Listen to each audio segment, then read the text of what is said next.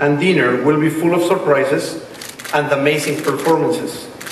We couldn't be more pleased with this year's honoree, whose name will be re- revealed in the coming days. So please stay tuned for this important announcement. Este año estamos felices con la persona del año 2011 de la Academia Latina de la Grabación. Es un nombre que implica mucho y en breve lo revelaremos, por lo tanto estén listos porque lo estaremos anunciando en breve. ¿Y ahora qué les parece si comenzamos? Giselle, ayúdame a presentar